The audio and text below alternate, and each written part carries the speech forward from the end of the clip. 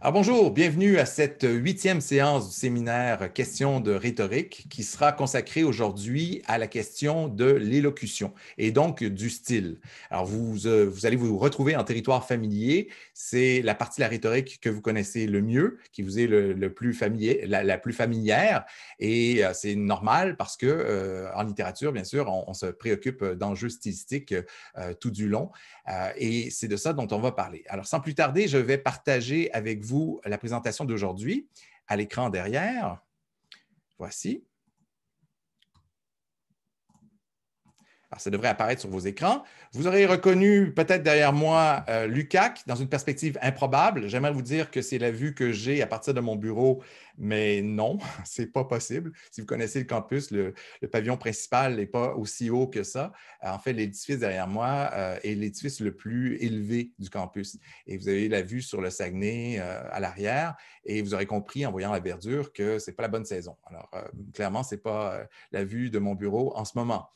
Euh, alors, on a euh, les mêmes points que d'habitude. Euh, on, procède comme on a fait pour les autres fois à travers l'exploration des enjeux de, de l'inventio, de la disposition.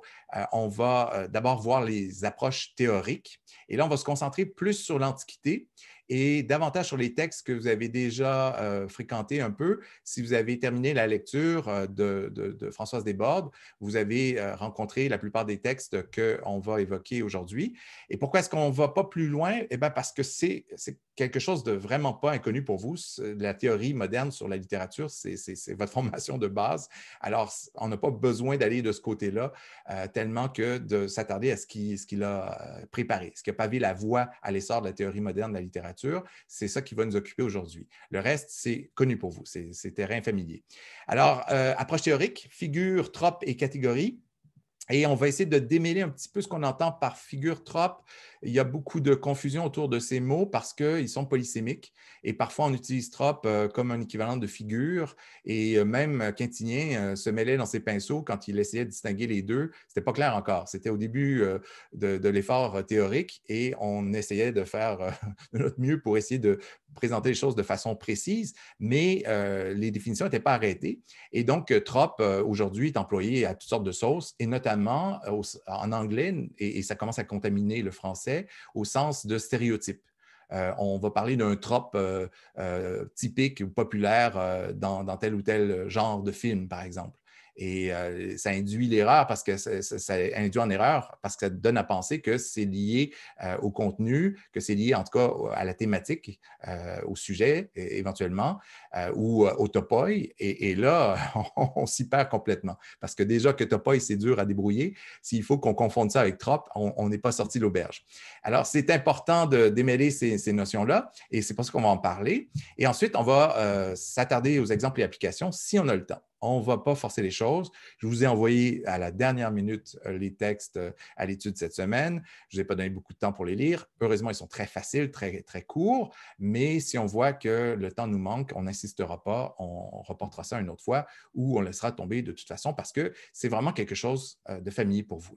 Il n'y a pas de surprise aujourd'hui dans le contenu du cours. Alors, on va pouvoir commencer avec notre présentation. Euh, premier point, euh, qui est les approches théoriques. Euh, l'élocution qui nous intéresse aujourd'hui se désigne, se dit en grec lexis et elocutio en, en, latin, enfin elocutio, elocutio plutôt, si on veut prononcer comme il faut. et ça, signifie au sens technique, donc ça désigne au sens technique la rédaction du discours. des quatre parties de la rhétorique, elle est, nous dit Cicéron, la plus propre à l'orateur, celle où il, il s'exprime comme tel. C'est celle qui est associée donc au style et on sait comment le style est important euh, euh, pour euh, caractériser un, auteur. alors, Balzac n'écrit pas comme, comme Hugo, Hugo n'écrit pas comme Michel Tremblay. alors, ils ont chacun leur façon de faire et ce qui les caractérise, c'est leur style essentiellement. Plus encore que les thématiques, parce que ces gens ont pu parler des, des mêmes choses, des milieux populaires, par exemple. Ces trois auteurs ont parlé des gens ordinaires. C'est leur manière d'en parler qui les caractérise. Et c'est pour ça que on insiste pour dire que ça, c'est ce qui va distinguer les orateurs les uns des autres. C'est leur manière de, s'exprimer qui va faire qu'on euh, va les reconnaître entre tous. Et c'est une partie vraiment essentielle parce que pour, les autres, euh, on suit un protocole assez universel. Euh, bien sûr, certains disposent d'une culture générale plus, élevée que d'autres et, certains sont plus doués par la nature, pour l'éloquence, pour la diction et tout, mais essentiellement, c'est au niveau de, la formulation, c'est au niveau de la rédaction que, tout se joue, euh, que euh, l'orateur va trouver à s'illustrer, se distinguer par son style. Alors, vous avez un petit tableau ici qui est sympathique parce qu'il récapitule un peu euh, les parties de, la rhétorique euh, dont on parle depuis le départ. On les a nommées, mais on ne les a jamais vraiment euh, présentées de manière ordonnée. Alors, vous avez bien sûr l'invention au début dont on a parlé et qui concerne donc la recherche d'idées, des exemples qu'on doit puiser tantôt dans sa culture générale, tantôt dans la pure invention, en faisant preuve d'originalité, de, de, créativité. Ensuite vient l'étape de la disposition, et ça, on en a parlé quand il était question de dispositio.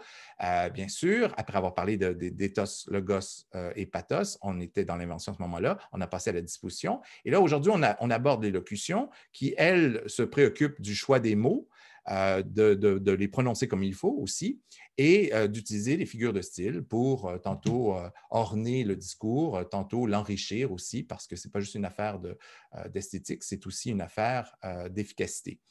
Et là vient à la suite deux parties qui sont souvent présentées dans le désordre. À mon sens, c'est absurde de parler d'action avant de parler de mémoire, parce qu'il me semble qu'on doit, après avoir écrit son discours, le mémoriser d'abord et ensuite euh, le présenter. Et l'action, euh, c'est le moment où on joint le geste à la parole, euh, où on doit prononcer son discours.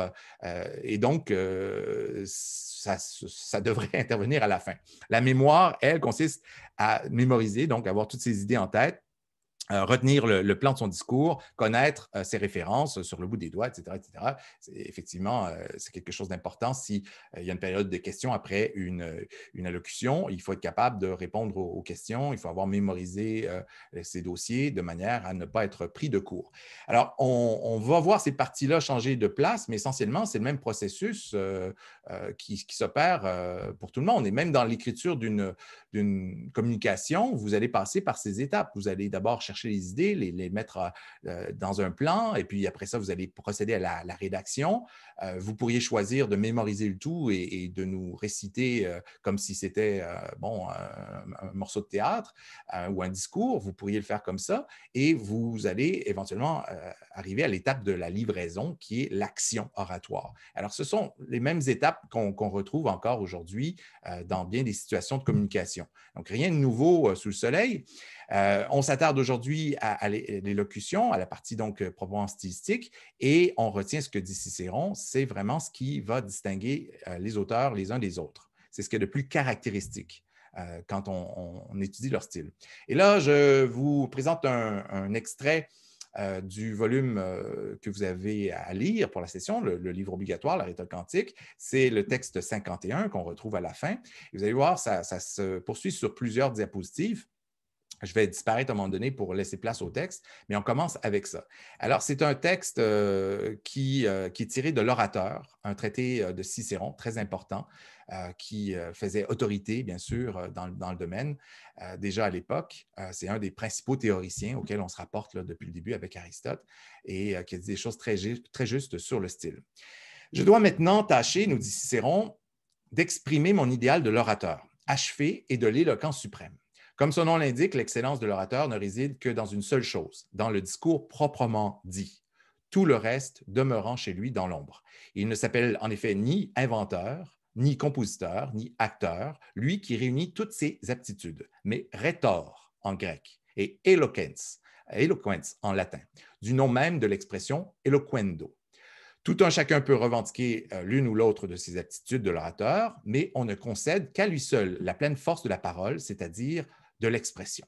Alors, vous voyez comment, euh, pour lui, c'est euh, à ce niveau-là vraiment que, tout se joue.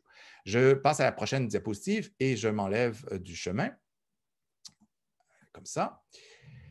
Bien entendu, on trouve aussi des philosophes qui ont parlé avec élégance. Je pense à Théophraste, qui dut son nom à sa parole divine, à Aristote, rivalisant avec Isocrate, lui-même au moins connu, euh, au mot connu sur les muses qui parlaient par la bouche de Xénophon, et au premier, de loin, par la grandeur et la grâce entre tous ceux qui ont écrit ou parlé à Platon. Mais leur façon de parler n'a ni le nerf, ni la pugnacité de l'éloquence publique. Ils s'adressent à des gens cultivés et pour réfréner les passions, plus que pour les exciter. Il parle de sujets pacifiques qui ne se prêtent à aucun déchaînement, pour instruire et non pour séduire, si bien que certains trouvent que les philosophes en font trop, simplement quand leur langage vise un certain effet de séduction. Il n'est donc pas difficile de distinguer du genre philosophique l'éloquence dont nous traitons maintenant. Alors pour lui, c'est important de faire le départ entre le style philosophique et un certain style philosophique qui, on le comprend, a plus euh, à voir avec euh, la sophistique que la, véritable philosophie, et euh, l'art de l'orateur, qu'il situe, et faut, faut-il s'en étonner, à un niveau plus élevé. Pour lui, l'homme parfait, c'est l'orateur, et ça se trouve que c'est son métier. C'est quand même sympathique. le discours philosophique, est délicat et s'épanouit à l'ombre. Il ne s'arme pas des idées et des mots populaires. Il ne se plie pas au rythme, mais s'en affranchit assez largement. Il n'est ni coléreux, ni haineux, ni cruel, ni pathétique, ni rusé. Il est chaste et réservé. C'est en somme une vierge immaculée. Dans son cas, on parle plutôt d'entretien que de discours, car si tout le langage, si tout le est bien du discours, seul le langage de l'orateur est proprement désigné par ce mot. Alors, on en revient encore une fois à la question euh, du style. On a un genre euh, voisin dans l'histoire où la narration est élégante, euh, parce que dans l'histoire aussi, on peut chercher à être élégant. Alors, euh, il, distingue entre différents genres qui sont plus ou moins normalisés à l'époque, le genre philosophique ou le genre de l'histoire, où on retrouve effectivement certaines élégances, où il y a narration, et où l'on décrit souvent une région ou une bataille, où on y insère même des harangues et des exhortations. Euh, donc des morceaux de bravoure, des morceaux de discours, pour lesquels, toutefois, on adopte un discours filé et coulant et non notre discours ramassé et fougueux. Pour lui, il y a quelque chose euh, de propre à, l'action oratoire, au, style du discours oratoire qui n'est pas présent dans l'histoire ou dans la philosophie, dans le, dans le discours philosophique. L'éloquence que nous recherchons doit se distinguer de celle de ses auteurs tout autant que celle des poètes. Alors, on est à une époque où ces formes ne sont pas clairement définies. Et euh, Cicéron entreprend de, théoriser tout ça et de, déterminer quelle est la spécificité finalement euh, du discours rhétorique. et là, il en, vient, il en vient à la poésie. De fait, avec les poètes, eux aussi, c'est poser la question de ce qui pouvait bien les différencier des orateurs. Autrefois, on voyait surtout la différence dans le rythme et le vers. Mais aujourd'hui, le rythme a pris une très grande place chez les orateurs eux-mêmes. Alors, avant, c'était facile, on pouvait distinguer euh, le, texte, le discours oratoire de la poésie en disant, bien, la poésie oratoire, la, poésie, en fait, elle rime, et elle est faite de, métriques et euh, voilà, elle obéit à des principes d'organisation, de construction qui ne sont pas les mêmes que, la prose oratoire, mais euh, désormais, nous disserons, la prose oratoire aussi s'intéresse au rythme et aux assonances et aux effets qui étaient avant proprement poétiques. Alors, il faut trouver le moyen de les départager plus clairement. Alors, le rythme a pris une très grande place chez les orateurs eux-mêmes. En effet, tout ce que l'oreille peut mesurer, même si cela ne fait pas un vers, un vers est une faute dans un discours. Alors, quand on, selon Cicéron, quand on, s'applique à, dire les choses, par exemple, dans un discours en alexandrin et qu'on compte ses syllabes, on fait une faute. Une faute de, goût, une faute de style, euh, ce n'est pas à propos. On, ne doit pas euh, faire ça. Euh, on peut jouer sur, euh, sur, le rythme, on peut jouer sur les constructions, mais il ne faut pas que ce soit clairement identifiable comme un alexandrin, par exemple. je donne cet exemple-là aujourd'hui, ça n'existait pas à l'époque de, Cicéron, mais vous comprenez ce que je veux dire. On ne veut pas que euh, l'attention de, de l'interlocuteur soit attirée vers la forme inutilement. ça, ça, parasiterait la communication. Alors, pour lui, c'est une faute. Tout ça s'appelle donc rythme, rythmos en grec, Personnellement, la grandeur de l'éclat du style de certains poètes ne m'empêche pas de constater qu'ils ont plus de liberté que nous dans la création et la combinaison des mots, et même à en croire certains qu'ils sont plus assujettis à la forme des mots qu'aux idées. Et du reste, s'ils ont un point commun avec nous, l'évaluation et le choix des mots, cela ne doit pas empêcher de voir la différence sur les autres points. Mais il n'y a pas de doute là-dessus, ou s'il y a quelques problèmes, il n'est pas indispensable d'en traiter dans le présent exposé. Alors, on a là un exposé assez longuet, je m'en excuse, mais c'est intéressant parce qu'on a affaire aux premières tentatives de, finalement, de théorisation de, l'expression euh, littéraire. ce n'est pas encore constitué la littérature, mais on s'interroge sur ce qui caractérise le style selon les genres, selon, selon les, différentes visées. Et cet effort théorique, vraiment, pave la voie à ce qu'on va faire plus tard à, l'époque moderne. Et c'est ce, dans, le domaine dans lequel vous étudiez. Alors, on peut voir Cicéron comme un des premiers théoriciens de la littérature à travers cette réflexion. Euh, bon, alors on a passé à travers cette, longue, citation. On, enchaîne avec le prochain point et je reviens dans la présentation. L'élocution, donc, et on pourrait le dire ainsi, et ça résumerait bien notre, notre propos, est le point euh, de, euh, de, rencontre de la, la, rhétorique et de la littérature. C'est le point de jonction, c'est le carrefour. Euh, et, euh, vous avez ici euh, les, parties qu'on retrouve Inventio, Dispositio, Eloctio, Memoria, Axio. ces parties, on peut aussi les employer. En fait, ce procès rhétorique, il peut aussi s'appliquer à, la composition littéraire. Quand on, compose un texte littéraire, on suit euh, un processus euh, de composition qui passe par l'invention. On doit se trouver un sujet, on doit se faire un plan, on doit disposer les choses, on doit composer. Et euh, il y a tout lieu, effectivement, de faire un parallèle entre ces étapes de composition qui sont bien connues des orateurs et des auteurs aussi de fiction et de poésie. On passe par les mêmes, les mêmes processus, en fait, par les mêmes chemins. Alors, euh, il, y a, tout lieu, euh, effectivement, de, faire des parallèles entre, les deux. Et euh, c'est au niveau du style, finalement, que la, rhétorique et la littérature se, retrouvent le plus, se rencontrent le plus. Et c'est ce que les orateurs vont comprendre, c'est ce que les théoriciens, les premiers théoriciens vont comprendre, et ils vont s'appliquer à essayer de développer cette spécificité de, du discours oratoire en regard de la littérature aussi. Et au départ, euh, ce n'est pas, nettement distinct, mais euh, éventuellement, avec la tradition, ça va, se distinguer. La littérature va être traitée à part, la, rhétorique, euh, le discours oratoire aussi d'un autre côté. Mais pendant longtemps, la tradition va fusionner les deux et on va parler de façon sans distinction réelle ou nette. On va parler de, de, de, composition d'Homère, comme on parlait d'Isocrate, de, Démosthène, comme si c'était équivalent. Or, Homère n'est pas un orateur, et Isocrate n'est pas un poète. Alors, en parler de la même façon, de manière indifférente, ça montre qu'il y, a eu une espèce de, fusion dans l'esprit des gens entre les productions littéraires et les productions oratoires, euh, parce qu'ils ont en commun, euh, effectivement, un, certain rapport au style euh, qui, qui revient.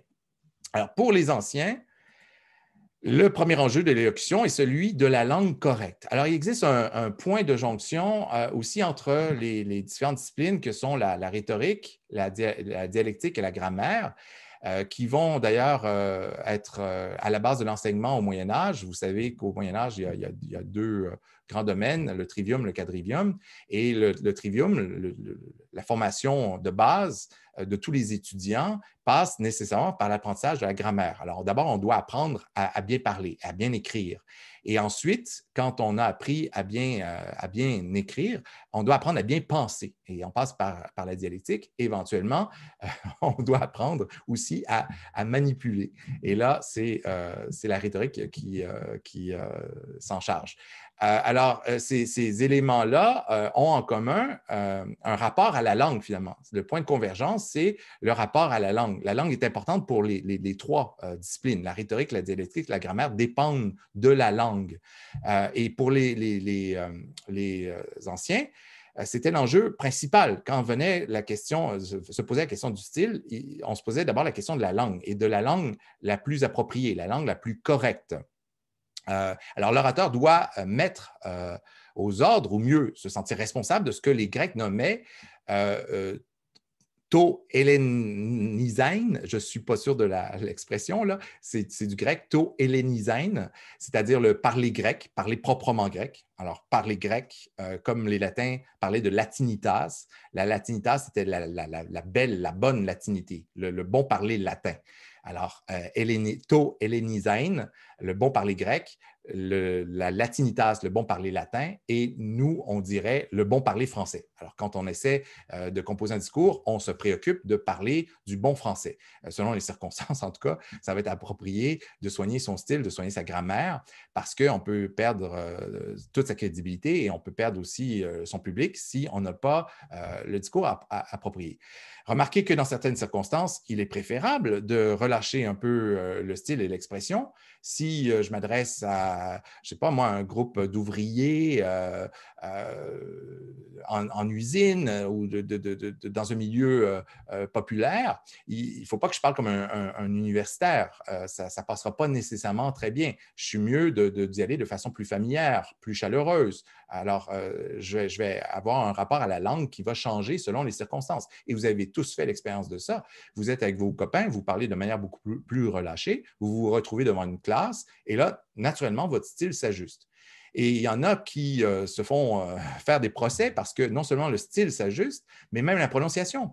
Euh, Gillian Anderson récemment a remporté un prix, c'est une actrice, euh, qui a remporté un prix. C'est un Golden Globe, en fait. Et elle était en, Angleterre. Je ne me souviens plus si elle est anglaise à l'origine. Je pense qu'elle est anglaise à l'origine. Et elle remerciait le public américain avec son plus bel accent américain. Ce qui lui a valu les critiques des uns des autres en disant ben, Tu es une vendue, tu n'es pas obligé parce que tu t'adresses aux Américains de parler avec un accent américain. Euh, mais je ne sais pas pour vous, mais moi, chaque fois que je vais en France, fatalement, je me mets à parler avec un accent français. Euh, et, euh, quand je suis avec des amis, je vais parler avec un, accent plus québécois et, ça se fait tout seul. Et ce n'est pas délibéré, c'est juste une question d'adaptation aux circonstances. Et c'est une qualité en rhétorique, c'est loin d'être un défaut. Alors ça, c'est une des préoccupations que, vont avoir les premiers théoriciens. l'adaptation aux circonstances et l'adaptation de la langue au sujet, mais aussi euh, au contexte de, la présentation. Alors, on va se préoccuper d'une grammaire correcte, mais aussi, au-delà de ça, d'adapter le style euh, aux circonstances, au sujet, euh, au lieu, au temps, etc. etc. Alors, c'est un enjeu central. Dans ces cultures où l'enseignement était encore euh, peu développé, euh, les exigences de l'art oratoire euh, vont fixer la langue comme un instrument donc indispensable pour se faire comprendre de, tous.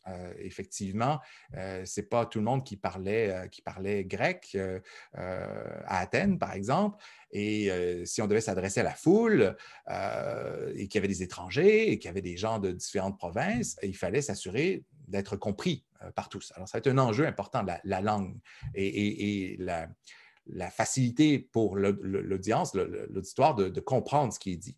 De nos jours, euh, encore, celui qui veut persuader le grand public ne peut se permettre euh, ni incorrection, ni, mettons, un ton prétentieux ou précieux, sauf dans des occasions bien précises. Alors, si j'arrive et que dans des, circonstances, bon, assez, assez banal, je tiens un discours ultra sophistiqué, asianiste, euh, ça peut tomber à plat. Euh, un, politicien, par exemple, qui se mêlerait de faire de la poésie, ça serait probablement mal reçu.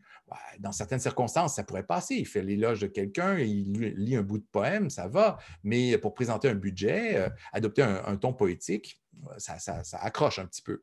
Alors, il faut, il faut quand même tenir compte de ça. et, ici, vous avez un tableau sympathique euh, qui, bien sûr, se base sur le tableau périodique des éléments. Euh, alors, au lieu d'avoir des métaux, des gaz et tout et tout, on a ici euh, les, des éléments, euh, on a des, figures de style, en fait, métaphores, anecdotes, mythonymie et tout. ça vaut le détour si vous allez sur le web d'aller voir comment on a organisé tout ça. C'est une bonne façon de mémoriser la chose parce qu'il y a beaucoup de figures. Je ne sais pas si vous avez déjà épluché des dictionnaires de, figures de style. Il y a beaucoup de figures et si on veut les mémoriser, c'est bon d'avoir une façon de les, classer par catégorie. Et ce tableau périodique est assez facile à repérer le web et vous permet de, vous faire une idée assez nette de ce qui distingue un trope euh, d'une figure éventuellement, une figure de pensée, une figure de mots. Euh, c'est détaillé. Alors, la rhétorique fut la première prose littéraire et resta seulement la seule parce que, bien sûr, la, littérature n'est pas encore constituée. Euh, elle, comme institution, elle, ne sera pas constituée avant, mettons, le 19e siècle, mais il faut admettre qu'il y a eu quand même un effort de réflexion, de théorisation qui précède ça. Et, la rhétorique est, cette discipline qui va se charger de tout, qui va se charger finalement de, traiter de la poésie, de, traiter de tous les genres épiques, du théâtre et tout. et les maîtres de rhétorique enseignaient ces genres. C'était essentiellement les, profs de littérature de l'Antiquité. Alors, si on veut chercher un équivalent aujourd'hui à ma fonction, euh, ben, dans l'Antiquité, euh, c'était, le rhéteur qui se chargeait ça. C'était le, le, le, maître de rhétorique qui se chargeait de ça, euh, de l'enseignement du, style, de l'étude et de l'analyse des textes. ça passait nécessairement par la, rhétorique. Et donc, la rhétorique était aussi la, première prose littéraire et, et est restée pour longtemps. Alors, il fallait recourir euh, à la prose, donc euh, parfois, mais à une prose qui, n'était pas strictement logique, argumentative. Parfois, elle avait besoin d'être ornée, d'être envisagée, enrichie. Et, donc, pour qu'elle puisse rivaliser éventuellement même avec la poésie, il fallait travailler à des moyens de, l'enrichir, à des moyens de, la développer. Voilà. Euh, et euh, il y a eu beaucoup de, réflexions faites sur, euh, sur ça, sur les moyens d'enrichir la prose, de la rendre plus efficace, plus pertinente, plus, plus convaincante. pour les anciens, il semble que la correction et la beauté n'étaient pas séparables, c'était indissociable en fait. la prose oratoire devait se démarquer à la fois de, la poésie et de la prose vulgaire. et comment on, arrivait, on y arrivait? Ben, d'abord par le, par le choix des mots en choisissant des mots euh, qui euh, euh, étaient dans le vocabulaire usuel, usuel par exemple, en évitant les, archaïsmes, en évitant aussi les néologismes. Il fallait trouver une façon de s'exprimer clairement, proprement, en bon grec, en bon latin, euh, donc, en évitant de faire aussi euh, trop littéraire, trop sophistiqué. Euh, il ne fallait pas employer les mêmes mots que les poètes, mais il ne fallait pas employer non plus des mots qui étaient à un niveau de style trop bas non plus, des, des, termes populaires, familiers. Il fallait trouver l'équilibre. Il fallait recourir aux métaphores et autres figures mais à condition encore qu'elle soit claire, qu'elle soit immédiatement intelligible, parce que sinon on tombait dans le même travers euh, qu'on cherchait à éviter, c'est-à-dire euh, de se confondre euh, avec le travail du poète. Le poète, lui, cherche l'expression précieuse, l'image rare, sophistiquée, et ce qui va distinguer la prose oratoire, ça va être une espèce de moyen terme où, oui, on va utiliser des métaphores, des figures de style, des figures de construction, mais on va essayer de les garder un peu moins euh, euh, poussées euh, à un niveau intermédiaire plutôt que d'aller aussi loin que les poètes. Francis, vous avez une question? Oui, je, l'ai écrit. oui, on parle de quel oratoire. C'est Moyen Âge, Antiquité? En fait, c'est Antiquité. C'est à partir du 5e siècle avant Jésus-Christ, essentiellement, là, qu'on on va développer la, prose oratoire, puis que commence vraiment un, effort de réflexion théorique sur la, composition. Et ça s'étend jusqu'à jusqu'à la fin de l'Ancien Régime, en fait. Donc, on s'est préoccupé de, de, prose oratoire tout du long. Mais à un moment donné, ce n'est plus le genre dominant. Euh, dès le Moyen Âge, d'autres formes vont s'imposer, vont rivaliser avec euh, le discours euh, à proprement parler. Et puisque les forums et les institutions romaines tombent avec la chute de l'Empire romain, les lieux d'exercice de la rhétorique ne sont plus disponibles, ne sont plus là. Alors, il va falloir se rabattre sur autre chose. Et autre chose, ça va être la composition littéraire. Alors, c'est là que la littérature va prendre le dessus sur la rhétorique, même si jusqu'alors, elle marchait côte à côte. Euh, c'est à partir du moment où les forums euh, tombent en décadence, en déchéance et tout, euh, que la, littérature va s'émanciper de la rhétorique. Mais sinon, jusqu'au Moyen Âge, c'est, et, depuis le, 5e siècle en Jésus-Christ, c'est le, règne de, la prose oratoire essentiellement. Alors, on va recourir aux métaphores et aux autres figures. On va privilégier aussi un rythme souple. Pour trouver des phrases qui sont, qui sont euh, intéressante euh, et, qui coule de source dans, le discours. Il ne faut pas que ça accroche et, en même temps, il faut être capable de les mettre au service du sens. La rhétorique a donc créé euh, une espèce d'esthétique de la prose, une esthétique qui est purement fonctionnelle en fait, parce qu'on on, exclut de cette esthétique l'inutile. Alors aujourd'hui, on aime dire que la littérature est belle parce qu'elle est inutile. Elle ne sert à rien. Elle n'a aucune prétention autre que d'être jolie. Et on aime bien répéter ça. Et moi-même, j'aime beaucoup cette idée que la littérature ne sert à rien dans un monde utilitariste à outrance, de dire que la littérature, c'est un acte de résistance parce que justement, elle ne sert à rien. S'oppose à l'utilitarisme. Je trouve ça absolument intéressant.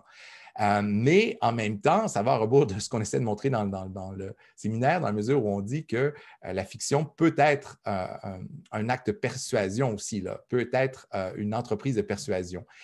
Et chez les rhéteurs, ce qui était une façon de distinguer la poésie ou ce que nous, on appellerait la littérature de, du discours oratoire, c'était justement que le discours oratoire était utile alors que la poésie, elle, était inutile. Elle était dans l'ornementation, elle était dans la gratuité. Alors, on pourrait faire cette opposition, effectivement, entre euh, la littérature d'idées qui euh, vise euh, à, démontrer des choses, à défendre des thèses, et une certaine école, mettons, de l'art pour l'art, qui conçoit la littérature comme un acte gratuit. Euh, qui, ne rime à rien, qui n'a aucune ambition de persuasion. Alors, on sait que les deux, en fait, coexistent euh, partout. Et même quand on prétend faire que de l'art pour l'art, il y a toujours une finalité qui peut être dégagée de l'initiative, même si ça ne correspond pas à l'intention du, lecteur. On peut déduire des, choses de, tout texte, de toute composition. On peut déduire des finalités qui s'expriment malgré l'auteur même. Donc, euh, mais c'est intéressant de savoir que cette réflexion-là existait déjà euh, chez les anciens. Euh, qu'est-ce qu'il faut retenir de ces considérations sur le style? Trois points qui correspondent respectivement aux trois pôles du discours, le sujet, l'auditoire et l'orateur dont on va parler à présent. Le meilleur style, c'est-à-dire le plus efficace, c'est celui qui s'adapte au sujet toujours, en toutes circonstances, le meilleur style, c'est celui qui est capable de s'adapter au sujet. On ne peut pas euh, dire qu'on va appliquer un style toujours le même, peu importe les circonstances, ça ne marchera pas. Alors, on a tous un style naturel. Il y, a, des gens qui ont un style sophistiqué qui, naturellement, vont écrire de façon très, euh, très artistique, très baroque, avec beaucoup euh, de, figures de style, d'élégance, une syntaxe recherchée, etc. Et il y a d'autres qui, au contraire, comme moi, sont incapables d'élévation ou de pousser très loin le, style, écrivent très simplement, de manière très terre à terre. Et les anciens opposaient ces, deux styles en les qualifiant l'un d'asianiste, parce qu'inspiré de l'Orient, euh, et c'était le style proprement baroque, si on veut, euh, même si le mot n'existe pas encore, mais vous voyez à quoi je, renvoie. Par opposition au style euh, pratiqué chez les orateurs grecs et dans la province de l'Attique, en Grèce, et qui a donné le nom atticisme. Alors, on opposait le style simple, le style atticiste ou le style attique, ou à l'asianisme, au style sophistiqué. Euh, des, euh, euh, gens venus de ces contrées lointaines. Alors, bien sûr, il y avait des gens pour s'identifier en Grèce aux deux écoles. Et, tout naturellement, vous, vous êtes probablement capable de vous identifier à l'une ou l'autre, ou peut-être que vous êtes entre les deux mais on a tous et toutes un style naturel qui fait que quand on écrit, ben, ça a tendance à être toujours pas mal la même chose. Euh, mais euh, la rhétorique nous dit euh, non, il ne faut, pas, faire ça, il faut être capable de s'adapter aux circonstances. Le, meilleur orateur, c'est celui qui est capable de moduler son style en fonction du sujet, en fonction des exigences de, la situation et tantôt va élever son style, même s'il y a un style naturel à la base, il va être capable de l'élever pour rencontrer les circonstances. Si par exemple, vous devez faire un hommage funèbre, ça m'est arrivé dans, la vie, dans ma vie d'avoir à faire ça. les gens étaient très émus dans ma famille, personne ne voulait lire un texte, ni un texte d'évangile, ni, ni, rien, puis ils voulaient rendre hommage à la personne disparue. et on m'a demandé, moi, de le faire. Euh, exercice très exigeant. Euh, j'aurais préféré passer ça à quelqu'un d'autre, mais je l'ai fait. Et bien sûr, je ne pouvais pas parler de n'importe quelle manière. Il fallait m'élever au, niveau des circonstances, à la dignité que commandaient les circonstances, et ça demandait des aménagements. Et il y a toute une réflexion qui vient avec ça, qui dit, ben, qu'est-ce que je peux dire? Qu'est-ce que je peux raconter? Euh, jusqu'où je peux aller dans l'anecdote, dans la confidence, euh, dans le ton là, de connivence? Et euh, ça pose des problèmes là, techniques intéressants. Alors, je ne peux pas juste composer un, espèce de poème, un éloge super lyrique et tout. Je, vais, je vais flusher la moitié de mon public. Il y a des gens qui ne me suivront pas dans, ces entourloupettes rhétoriques et ces images un peu trop sophistiquées. Et en même temps, je ne peux pas parler de façon trop terre à terre non plus. ça ne convient pas aux circonstances. Donc, il faut trouver le ton juste. Et ce n'est pas évident. Et les latins vont distinguer entre différents styles.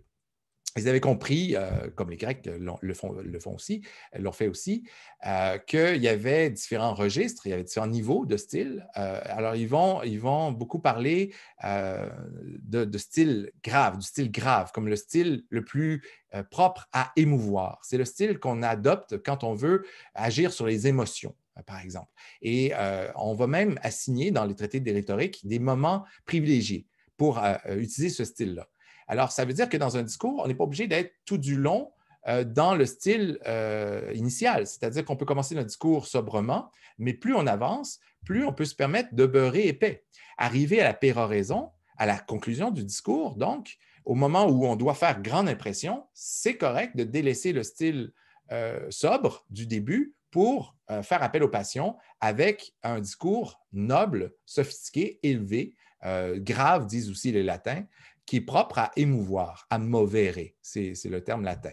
Alors, vous voyez comment, pour chaque niveau de style, euh, correspond euh, un, lieu de l'invention privilégié euh, qui va être interpellé par ce niveau de style-là et qui va convenir à un moment du discours plutôt qu'à un autre. Pour le style simple, le style attique, qu'on pourrait, assimiler à ce que les, latins appellent le style bas ou simple, alors, le style simple ou familier, c'est un autre, un autre terme employé. Quand on dit familier, bas, euh, simple, c'est le même registre qu'on désigne, ou euh, tenue en, latin. Euh, lui, il est utilisé pour expliquer. Quand on doit enseigner, par exemple, ce n'est pas le moment de tomber dans le style fleuri. bon, ça peut être joli pendant quelques minutes, mais ça risque d'être difficile à suivre. Alors, on ne peut pas donner dans l'ornementation euh, tout azimut. On se doit d'expliquer sobrement, clairement, simplement. Alors, on va adopter un style simple et c'est le, style le plus propre à expliquer, à, docérer, à instruire. Et euh, c'est le style qui convient effectivement à, la preuve, qui interpelle le logos directement et euh, qu'on retrouve dans la narration, mis à l'avant-plan dans la narration, cette partie du discours où on va raconter les faits. Euh, la confirmation, la récapitulation, parce qu'on a intérêt à être clair.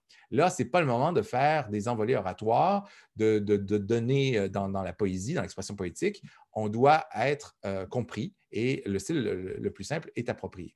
Vous voyez comment, de cette théorie des styles naturels, on en vient à une théorie de la modulation de ces styles. Comment est-ce qu'on peut en tirer le meilleur parti dans différentes sections du discours et dans différentes circonstances?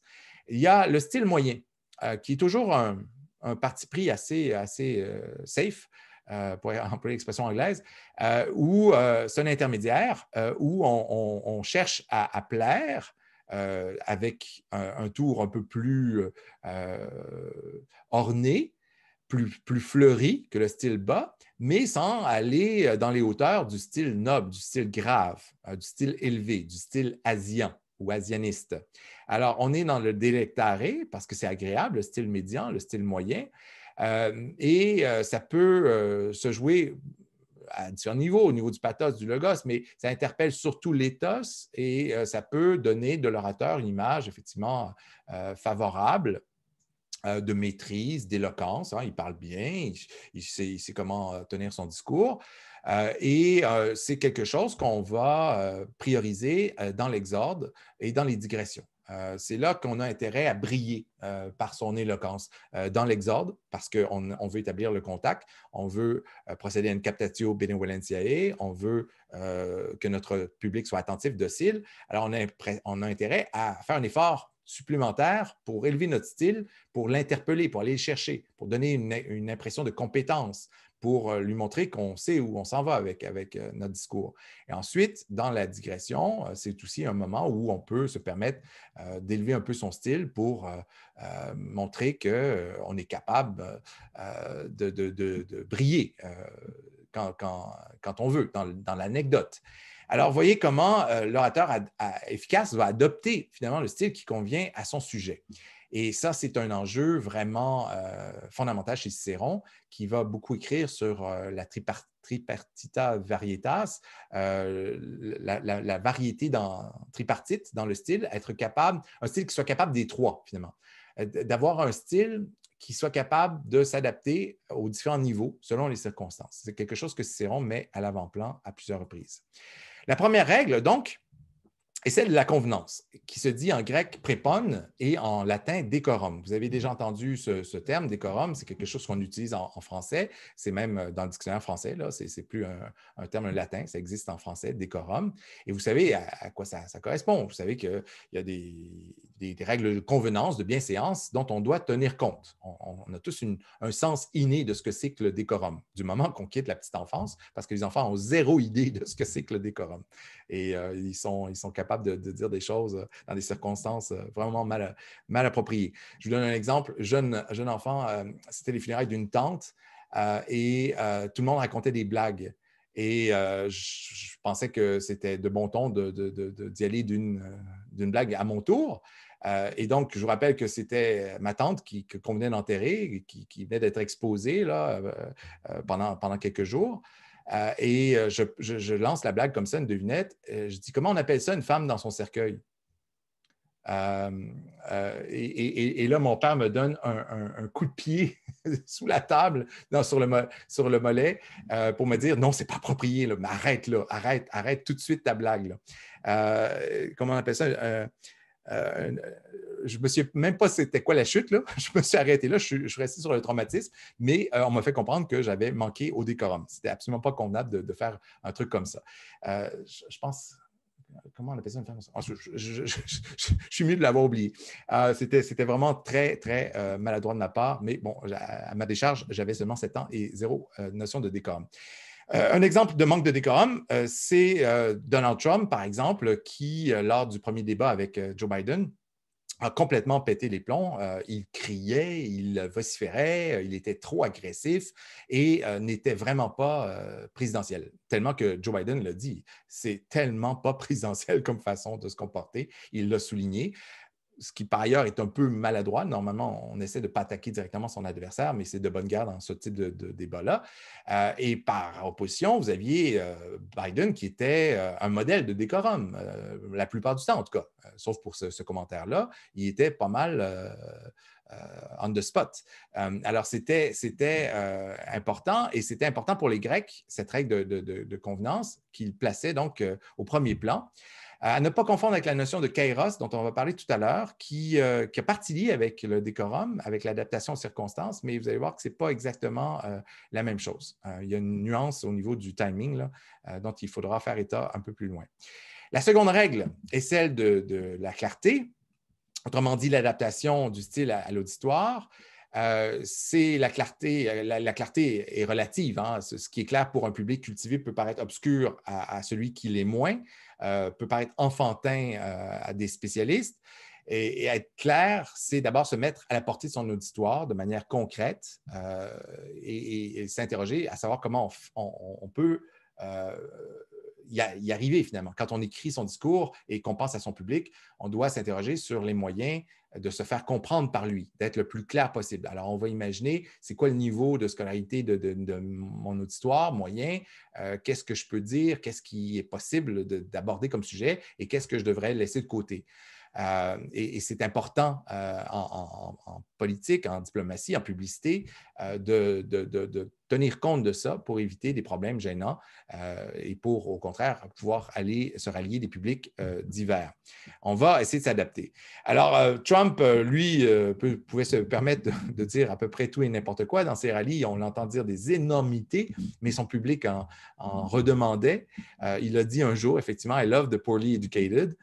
quand on y pense, c'est profondément vexant, mais les gens ne l'ont pas, pas relevé et n'ont pas compris ce que ça pouvait avoir de, de vexant. Euh, au contraire, c'était un discours qui était vu comme anti-élitiste et c'était euh, très apprécié. Euh, la troisième règle se rapporte à l'orateur lui-même, qui doit se montrer en personne dans son discours vivant, coloré, alerte, dynamique, imprévu tantôt, drôle à l'occasion, chaleureux, Euh, donc, en un mot, vivant essentiellement. Et là, vous avez un graphique intéressant parce qu'il reprend un petit peu ce que je disais quand j'évoquais un continuum entre le pathos, le logos, euh, l'éthos. C'est toujours euh, mouvant hein, et on ne peut jamais, dans une affirmation, dire qu'on est purement dans l'éthos. Euh, il y, a, toujours un aspect du logos qui, est présent. Il y a toujours possibilité d'un pathos, c'est-à-dire que même la phrase la plus froidement prononcée peut avoir un impact émotif sur l'interlocuteur. Et même si a priori, il n'y avait pas de charge émotive dans ma phrase, euh, on ne sait pas comment on va être reçu. Euh, quelqu'un peut avoir vécu un traumatisme qui, va être éveillé par la, la formulation que j'emploie. Donc, on ne peut pas prévoir tout et il faut comprendre que tout ça est interdépendant. Euh, et, on ne contrôle pas tous les, aspects de la communication.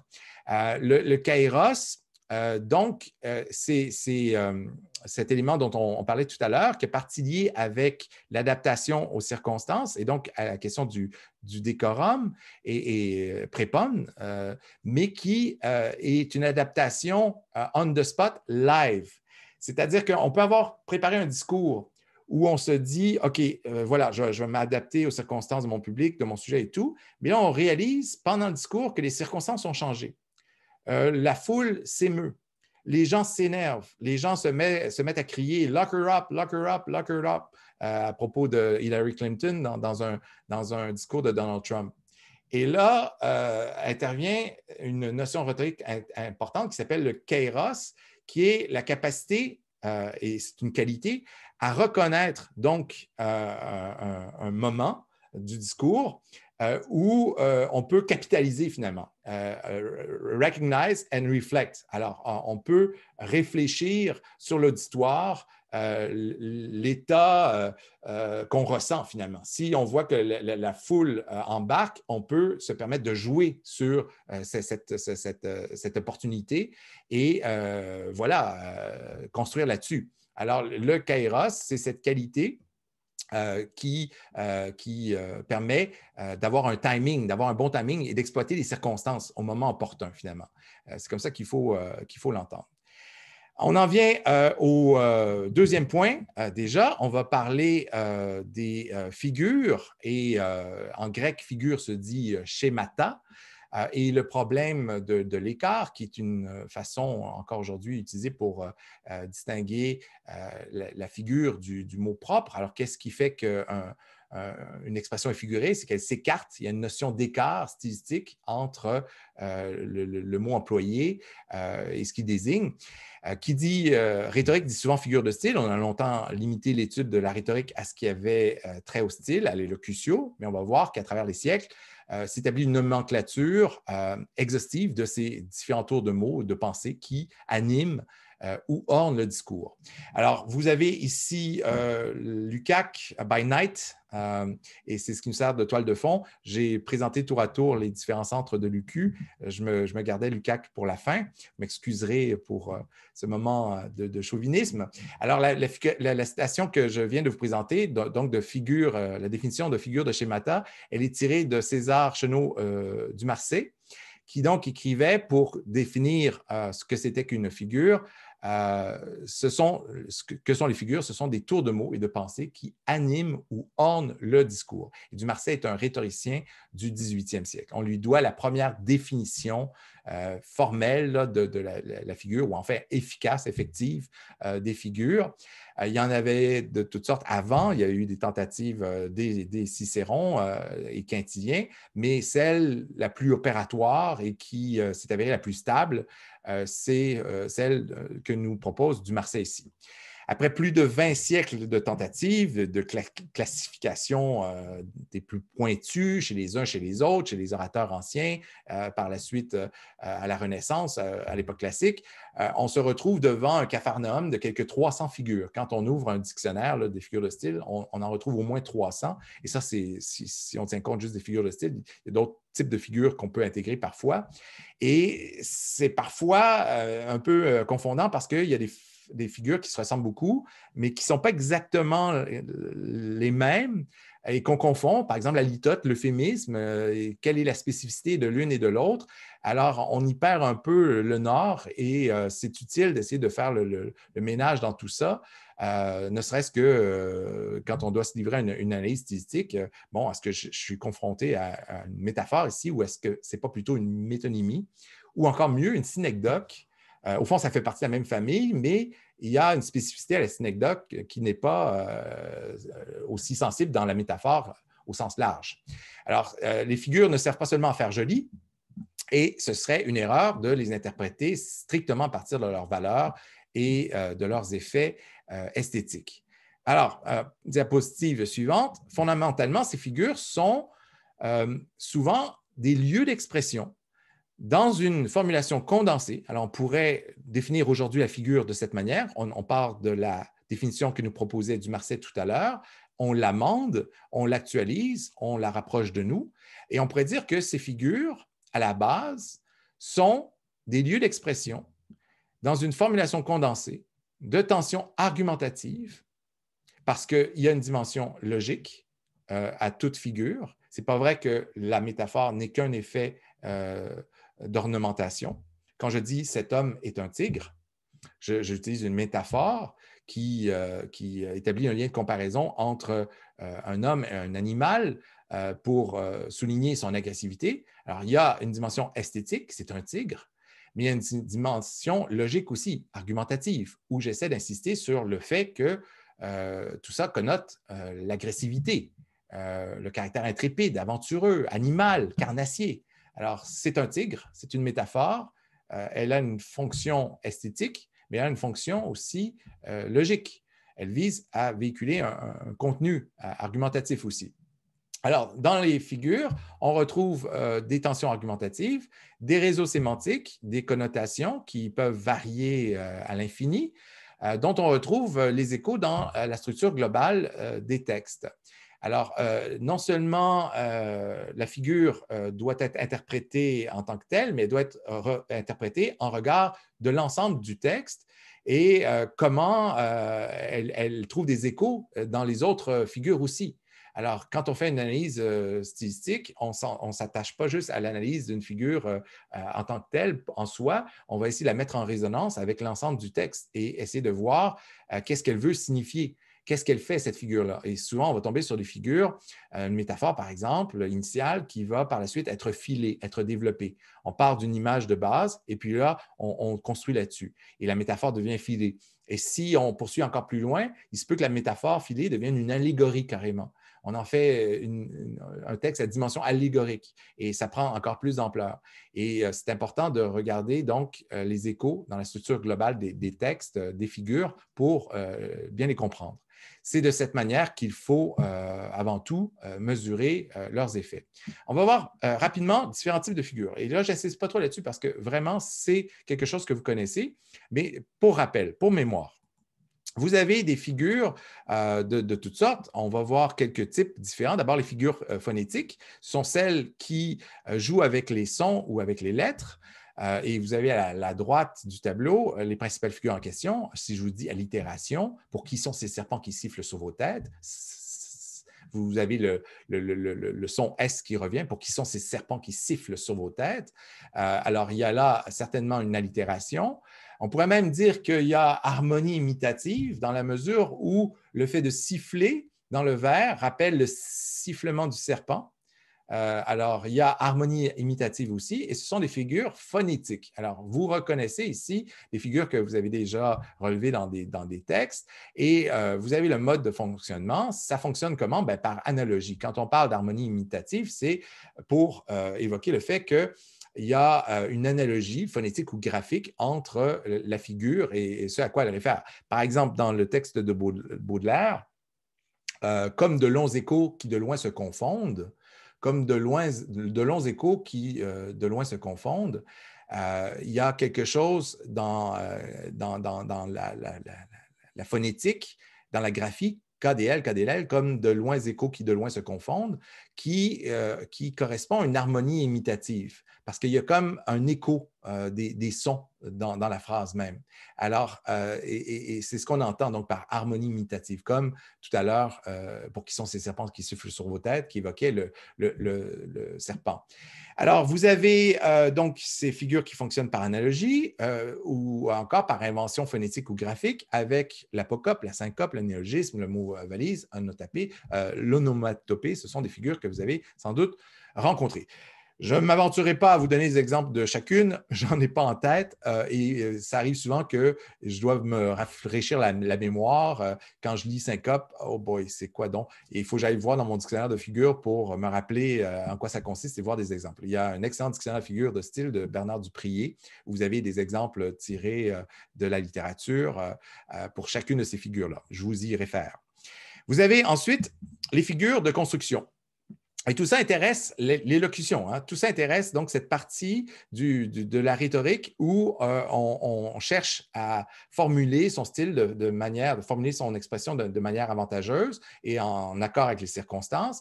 Et euh, vous voyez très bien comment euh, ça peut être le point de rencontre de la littérature et de la rhétorique, puisque euh, la littérature se préoccupe, aussi de figures de style, se préoccupe aussi de faire joli, d'utiliser l'ornementation pour venir seconder le sens. Alors, c'est ça l'élocution, vraiment. C'est le style, en fait, la question du style. Et autant dans toute situation rhétorique, on peut envisager le processus dans un contexte de production, euh, là, on est sous l'angle de la production. On, est à, se dire comment est-ce que je pourrais trouver euh, des images propres à, exprimer ce que je ressens. On est en train de créer et on, s'interroge là-dessus. Autant on peut, et c'est la même chose pour, euh, les différentes parties de, de, la rhétorique, on peut envisager les choses du point de vue analytique. Et plutôt que d'être du côté donc, du créateur qui cherche des figures, on peut être du côté de l'analyste qui lit dans un texte euh, qui voit des figures comme ça, qui les relève et qui les interprète qui euh, se lance dans une, entreprise herméneutique où il essaie de déduire ce qu'on a voulu signifier à travers ça. Vous voyez comment la, la, rhétorique a toujours deux versants, un versant production et un versant analytique. Au départ, elle n'avait pas ce versant analytique. Au départ, elle était intéressée que par la production. Mais avec le temps, elle est devenue une science analytique aussi. Et c'est ça qu'il faut comprendre et c'est ça qui fait qu'on est un peu embrouillé des fois quand il est question de rhétorique. C'est parce qu'on ne sait pas, on est entre deux chaises, on ne sait pas toujours si on est en train de parler du côté de la production ou on est dans le côté euh, de l'analyse finalement euh, du texte. Alors nous, très nettement dans ce, séminaire, on est du côté de l'analyse. On, va s'interroger sur euh, le fonctionnement finalement des textes et comment on peut, à travers la rhétorique, et de manière rétrospective, sachant comment les textes sont composés, comment on peut dégager les enjeux des textes et leur mode de fonctionnement. Euh, alors, c'est pour ça que c'est utile pour nous aussi de, connaître les figures, d'être capable de les reconnaître. Et quand on est euh, confronté à les figures de construction, euh, on, les remarque par le jeu avec la syntaxe. on voit, par exemple, qu'il y a une redondance syntaxique. Alors, on va être confronté parfois à des répétitions. Je pense à ce poème euh, de, Breton, ma femme euh, au sein de Ruby, ma femme euh, au parfum d'éternité, ma femme, ma femme. Il y a une répétition. Plus encore, de manière plus précise, on pourrait dire une anaphore parce qu'il y a reprise en début de vers du même mot. Donc, c'est une figure de, construction. Il y a un jeu avec la syntaxe qui veut marquer une insistance finalement. Et il y a d'autres façons de jouer avec la construction par déplacement syntaxique, comme on le voit dans les inversions, dans les chiasmes, dans les hyperbates, dans les antimétaboles ou encore par suppression syntaxique avec l'ellipse et le zeugme. Ce sont des constructions, figures qui appartiennent donc à, la, famille des figures de construction, qui jouent avec la syntaxe. Vous avez une troisième euh, catégorie de figures qui sont les figures de sens et de pensée, peut-être les, figures les plus usitées, les plus connues. Euh, c'est vrai qu'à euh, itération, assonance, harmonie imitative, ce n'est pas ce qu'on retrouve le plus souvent quand on fait une analyse de style. Et quand au cégep, par exemple, on impose le commentaire composé à nos étudiants, ce n'est pas ce qui vont, sortir en premier. Ce qui vont sortir en premier, ce qu'ils vont repérer très facilement, c'est les comparaisons. Ils cherchent les coms. Mais le problème, c'est que quand on cherche, cherche un, com, des fois, on tombe sur un, com qui n'a pas une valeur métaphorique euh, qui n'est pas une figure, c'est juste un, comparatif, mais, avec aucune euh, valeur esthétique. Alors, ça arrive que ça les induise en erreur. Il faut faire attention aux facilités et aux raccourcis. vous avez donc ces figures de sens et de pensée qui, sont, qui constituent des jeux avec le sens des mots. Euh, qui euh, fonctionne par contiguïté sémantique, tantôt par analogie sémantique, par euh, opposition sémantique. Et là, vous avez les principales figures qui sont la métonymie, la synecdote, l'hyperbole, la litote, l'euphémisme, des choses que vous avez rencontrées. la litote, par exemple, chez Racine, non, chez Corneille, c'est Chimène qui dit à Rodrigue Va, je ne te hais point pour finalement vouloir dire je t'aime. Mais elle ne peut pas lui dire je, t'aime parce qu'il vient tuer son père et c'est absolument inconvenant de l'aimer encore, euh, l'assassin de son père. Mais elle veut quand même lui faire comprendre euh, qu'elle l'aime encore. Ce n'est pas un, euphémisme, euh, tellement qu'une litote, où on dit le, contraire, ou enfin on le dit de manière détournée pour faire comprendre qu'elle l'aime encore. Va, je ne te hais point. Euh, alors, euh, ce sont des figures qui fonctionnent euh, de manière assez similaire. la comparaison, la métaphore, ce sont des, figures que vous connaissez bien, qui fonctionnent par analogie sémantique. On, établit un lien entre un, terme et un autre basé sur un, rapport de ressemblance. et c'est toujours comme ça que fonctionne la comparaison, c'est toujours comme ça que fonctionne la métonymie, la, la synecdoque, qu'on pourrait retrouver aussi là-dedans. Euh, et euh, oui, elle n'est pas là, mais elle devrait y figurer. Et, ou par opposition sémantique, vous avez l'antithèse, l'oxymore, l'ironie, ce sont aussi des figures que vous euh, connaissez. On en vient à un texte de, de, Quintillien, qui est le texte 58, tiré donc du volume obligatoire La rhétorique antique. Où Quintien s'attarde à essayer de définir les tropes. Alors, qu'est-ce qui distingue finalement les tropes des figures? Parce que c'est une autre catégorie, une autre classe de, figures. Euh, il y a une confusion généralisée chez les anciens à l'époque entre euh, les figures et, les tropes. Alors, on va essayer de débrouiller tout ça avec, avec euh. Puisqu'on a parlé des tropes dans le livre précédent, la suite normale est un exposé sur les figures, au sens du grec schémata, un sujet qui a un lien naturel avec le précédent, comme en témoigne le grand nombre d'auteurs qui ont assimilé les figures aux tropes. De fait que ce nom de tropes vienne de ce qu'ils sont tournés d'une certaine façon ou qu'ils viennent de ce qu'ils tournent le langage et qu'il est fait aussi appeler mouvement. Alors, euh, le, sens étymologique euh, de, de, trope euh, avait parti avec le, mouvement, la façon de détourner le langage. Alors, quand on fait une métaphore, on, détourne le langage. C'est la notion d'écart si importante en statistique. Quand je parle des bras d'une chaise, après en parler, on s'entend, la chaise n'a pas de bras. Les bras, c'est le propre des hommes, de, les avoir. Un homme, une femme ont des bras. Une chaise, non. Mais pourtant, on parle de bras. Pourquoi? Parce qu'il y a eu un détournement. Il y a un détournement par analogie, euh, parce qu'il y a une ressemblance entre cette structure euh, euh, ou sa fonction, reposer ses bras, parce que des fois, le déplacement peut se faire aussi comme ça, de manière synecdotique ou métonymique plutôt. un, déplacement qui se fait, qui fait qu'on assimile euh, le, bras humain euh, à, cet élément de la chaise et ça devient l'expression euh, qu'on appelle une métaphore lexicalisée, c'est-à-dire qu'elle est tellement banale, cette métaphore, qu'elle est passée au lexique et il n'y a plus personne qui s'interroge là-dessus et qui, qui, voit ça comme une figure de style. Comme on parle des pieds d'une chaise, personne ne s'interroge sur le fait que c'est une métaphore. Une chaise n'a pas de pieds. Alors, c'est une métaphore tellement banale qu'on dit qu'elle est lexicalisée, elle est profondément ancrée dans, nos esprits, de sorte qu'on ne la voit pas. Et si vous vous mettez à, creuser la chose, vous allez vous rendre compte qu'il y a plein de métaphores. Notre langage est constamment euh, teinté de métaphores, lexicalisées, banalisées. Euh, on, est dans le figuratif euh, plus souvent qu'autrement. et c'est par détournement, par écart que ça se, ça se construit, que ça opère. Oui, Tina, vous avez une question?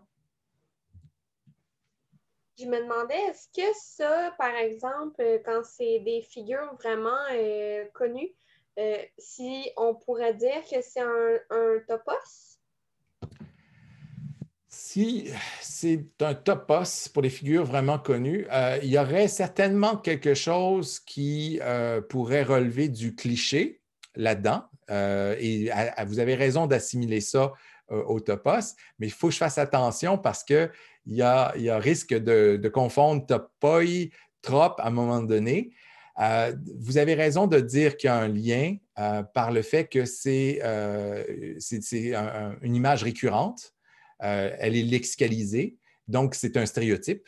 Et donc, dans ce sens-là, on pourrait le, qualifier de topos. Mais si je fais ça, je vais induire beaucoup de confusion.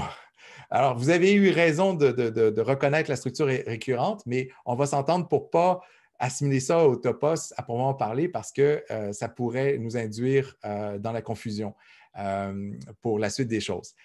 On va, on va s'entendre sur une définition du trop qui, essentiellement pour nous, désigne les figures qui font image. Pour nous, les tropes, ça va être d'abord les métaphores, les métonymies, les comparaisons, tout ce qui fait image. Ce n'est pas les figures de syntaxe, ce n'est pas les figures de construction, ce n'est pas les figures phonétiques, celles qui, font, qui jouent avec les sons, les assonances, les, allitérations, c'est les figures qui font image. Et là, déjà, on vient de restreindre considérablement. Euh, et on comprend que, euh, à cet égard, donc, euh, les bras, les pieds d'une chaise, ce sont des figures qui font image et donc qui constituent des, des tropes. Alors voilà, de fait que ce nom de tropes vienne de ce qu'ils sont tournés d'une certaine façon, qu'ils viennent de ce qu'ils tournent, le langage, ce qui les fait aussi appeler mouvement. Il faut bien, parce que c'est intéressant, dans métonymie, il y, a, il y, a, cette notion de mouvement aussi.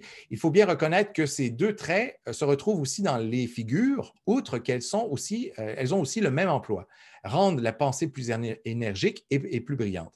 On trouve du reste aussi inversement des gens qui disent que les tropes sont des figures. Alors ça, c'est mêlant parce qu'il y a des gens effectivement pour dire, euh, ben, les tropes sont des figures de style. Eh bien oui, c'est pas faux. Quand vous regardez un dictionnaire de figures de style, vous allez, retrouver des métaphores, des comparaisons, des, métonymies. Et je viens de vous dire que c'était des figures euh, qui font image. Euh, mais ce sont pour nous des tropes. Donc, les tropes, il faut comprendre que c'est une catégorie de figures qui font partie des figures de style, mais qui ont cette spécificité, cette particularité de faire image. Ce sont ces figures qui jouent sur l'image, sur la transposition, sur le détournement, euh, qui tournent le langage. C'est comme ça qu'il faut euh, essayer de les distinguer. Mais c'est parfois difficile parce que euh, on va introduire des distinctions chez les anciens entre figures de mots, figures de pensée. Et vous allez comprendre que des fois, effectivement, une figure peut jouer à l'échelle du mot, euh, et, ça peut être une affaire euh, phonétique, graphique, euh, ça peut être un calembour, ça peut être une affaire de sonorité, mais une figure peut jouer aussi parfois au niveau du sens. Et là, on est dans la, la figure de pensée. L'ironie, par exemple, n'a pas d'effet sonore. L'ironie a un effet de pensée. Euh, ce qui fait que l'ironie opère, ce sur quoi elle, opère, finalement, c'est sur la pensée, ce n'est pas sur la matérialité de la phrase. Une phrase ironique peut ne pas être euh, comprise euh, comme telle par un étudiant qui, n'a pas le sens de l'ironie. par exemple, quand on fait lire Voltaire au cégep, c'est la catastrophe en général, parce que dans Candide, quand Voltaire dit la baronne pesait 350 livres et ça tirait par là une grande considération. les gens prennent ça au pied de la lettre des étudiants, ils ne comprennent pas que Voltaire est ironique et même sarcastique. Euh, euh, en quoi est-ce que le fait de peser 350 livres euh, lui valait à la baronne une, considération éventuellement? Pas du tout. Et il dit plein de choses comme ça, ironiques. et si on n'a pas le sens de ce que c'est que l'ironie, ça ne marche pas. Et c'est pour montrer que ce n'est pas dans la matérialité de la figure qu'on va, qu'on va trouver son efficacité, c'est au niveau du sens, de ce qu'elle signifie. Alors, l'ironie est une figure de pensée. Cependant qu'il y a des figures comme l'allitération qui sont des figures de mots. Euh, qui, opèrent au niveau de la, du mot et de la matérialité euh, même du mot euh, et, pas du sens. Alors, il y a toutes ces distinctions-là qu'il faut avoir en tête quand on veut départager trop, figure, figure de pensée, figure de mots. Et je vous dis, c'est des méchants casse-têtes et il n'y a pas que Quintien qui s'est cassé la tête là-dessus. Il y en a d'autres après lui. Euh, on en vient à parler d'Hermogène de Tarse. Alors, Hermogène de Tarse, vous l'avez rencontré dans euh, l'anthologie parce qu'il y, a une section qui était consacrée euh, à lui, entre autres. Et c'est important d'y revenir parce que pour moi, c'est le premier théoricien de la littérature, à proprement parler. C'est le premier qui fait vraiment le lien. C'est vrai qu'il y avait un lien entre prose oratoire et, prose littéraire. Enfin, ils étaient confondus. Et celui qui va entreprendre de les départager, et euh, de les faire exister comme des catégories indépendantes, c'est euh, Hermogène de Tarse. On devrait euh, le considérer comme le Roland Barthes, de l'époque, finalement, de l'époque du deuxième, troisième siècle après Jésus-Christ. c'est le premier à, se poser la question de la spécificité de la littérature. Est-ce qu'il existe quelque chose qui distingue finalement le discours de certains textes de la prose oratoire. Euh, il y a beaucoup de théoriciens qui, par le passé, se sont penchés là-dessus, mais n'arrivaient pas à mettre le doigt dessus. comment on fait pour les départager? Comment on fait pour les classer? on voit bien qu'il y a des textes où les enjeux ne sont pas les mêmes que dans l'oraison, le discours oratoire. Euh, on voit bien que ce n'est pas la même chose, mais comment organiser tout ça? Et Hermogène va contribuer beaucoup à, schématiser, à structurer, à, organiser euh, l'ensemble dans euh, deux volumes, État de cause et catégorie stylistique. Alors, ça a été très important pour moi parce que je me suis servi de ça pour ma thèse de doctorat, alors que j'essayais de, faire une analyse rhétorique des lettres publié à la Renaissance, des lettres familières. Ma thèse de doctorat portait sur la lettre familière à la Renaissance. Et je ne voulais pas appliquer une grille analytique moderne pour euh, analyser des textes qui ignoraient tout de cette grille. Alors, ça a été une, projection anachronique pour moi d'utiliser une grille analytique contemporaine, je ne sais pas emprunter à la linguistique ou à la rhétorique euh, euh, moderne, et lire les textes de la Renaissance avec cette grille, donc, qui est postérieure à, leur production.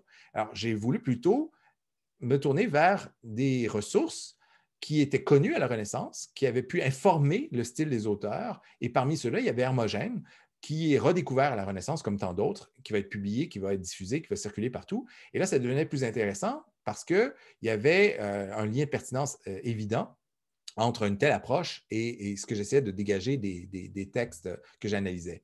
Alors, euh, je me suis outillé à partir donc de ce premier euh, théoricien de la littérature qui est Hermogène de Tarse, qui, dans les catégories stylistiques, dans ce livre phare, donc, euh, distingue sept grandes catégories d'idées. Il appelle ça idées, qui sont des catégories et des sous-catégories aussi. Euh, qui euh, vont caractériser le, style, qui vont servir pour, qualifier le style. Alors, quand on, compose un texte ou quand on analyse un texte, on peut euh, observer certaines dominantes. on peut y mettre en œuvre ou y voir, y constater un sens de la pureté, un, effort, un souci de netteté, alors, ce sont les catégories euh, dites qui appartiennent à la clarté. On peut aussi constater dans l'analyse d'un texte qu'il y a présence de noblesse. Alors, on, adopte un ton, un ton, noble, un vocabulaire noble, euh, un registre noble et une certaine hauteur de, vue. Euh, on peut, par exemple, dans d'autres, retrouver la catégorie de la rudesse. Alors, on peut faire l'analyse d'un texte et se rendre compte qu'il y a beaucoup de violence verbale, d'agressivité, d'invective. Et là, se dire qu'est-ce qui caractérise ce texte, qu'est-ce qui domine ici? C'est la rudesse.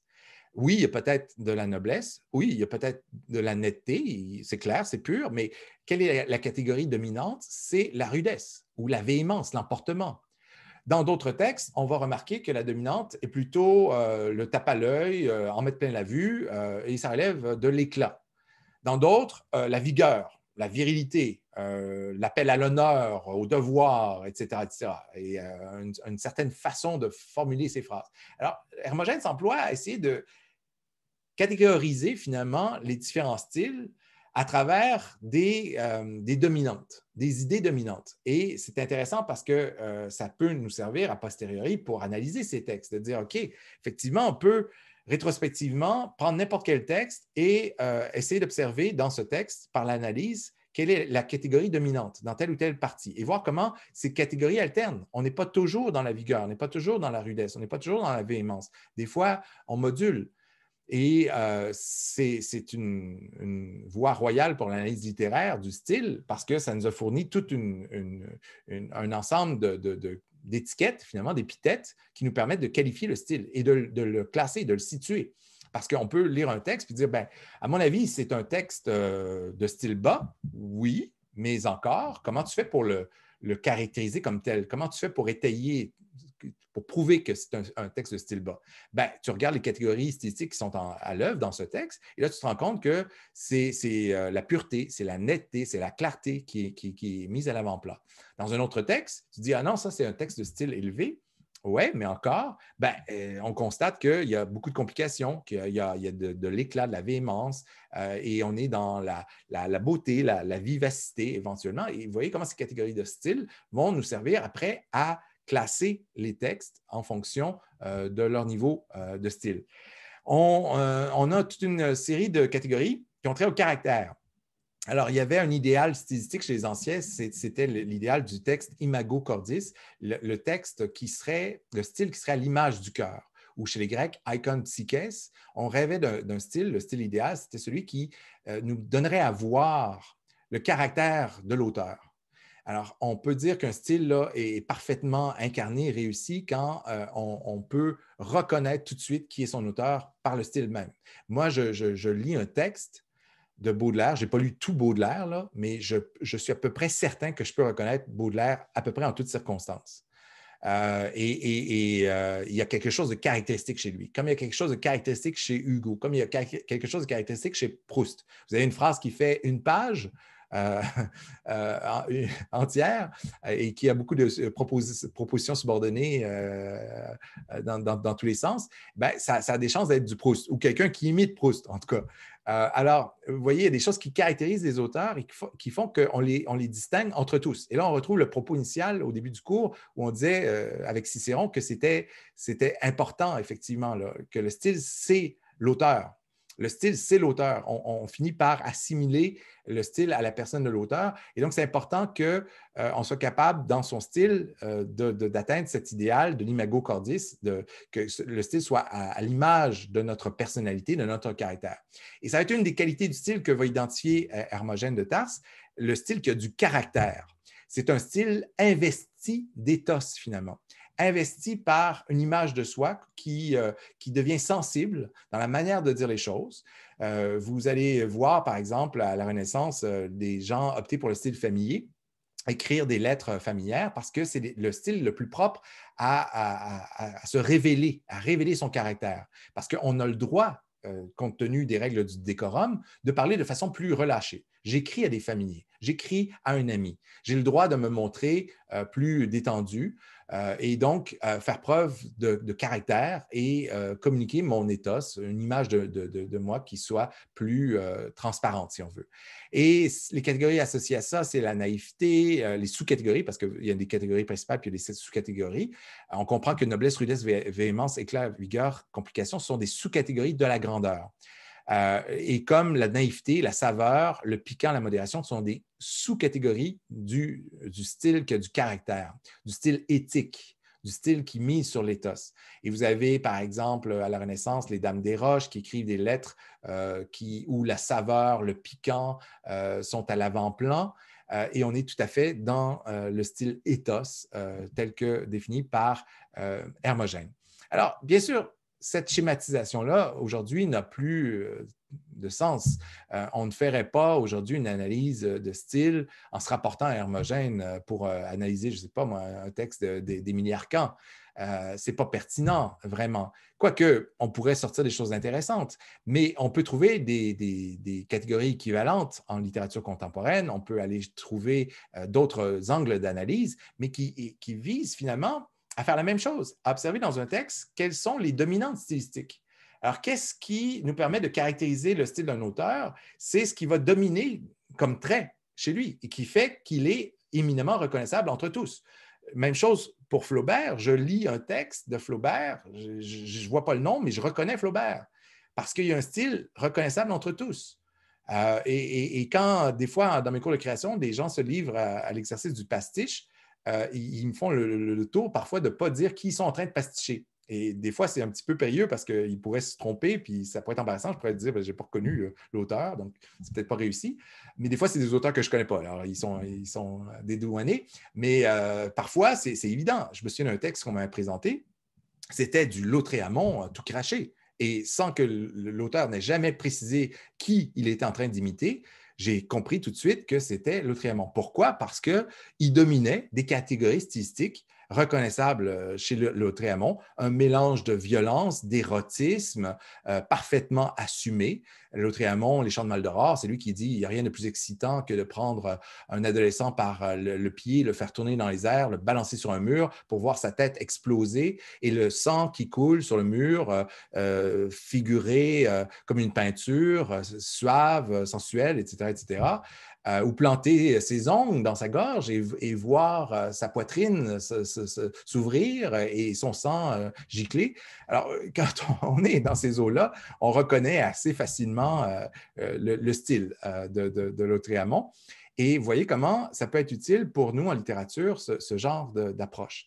Alors, ce qui, ce qui, ce qui fait Hermogène avec cette grille analytique, c'est vraiment fondé la, théorie euh, analytique littéraire euh, moderne, c'est-à-dire que c'est le début de ça. C'est là qu'on va euh, se doter pour la première fois d'outils d'analyse pour revenir rétrospectivement sur les textes, parce que jusqu'à présent, on se préoccupait vraiment plus de production, mais là, il y a un changement de perspective avec Hermogène où on dit, ouais, mais on peut utiliser ces catégories-là, bien sûr, pour composer les textes et dire, OK, là, je suis en train de composer un texte, les circonstances sont telles, je dois opter pour la grandeur. Et dans la grandeur, il y a les sous-catégories de complications de, vigueur, de véhémence, etc. Donc, genre ça à l'esprit. Mais on peut aussi rétrospectivement analyser ce texte et en, reconnaître les mécanismes et prendre la posture donc de l'herméneute ou en tout cas de l'analyste littéraire.